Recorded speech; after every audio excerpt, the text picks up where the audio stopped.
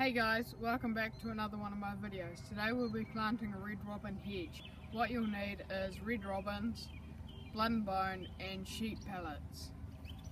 So what you want to do is you want to get some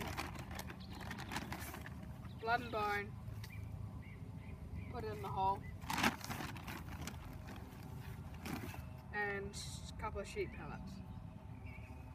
And you want to soak the red robins in some water so they have a wet root ball. Because if you plant it with a dry root ball it'll probably die. So you want to cover it round.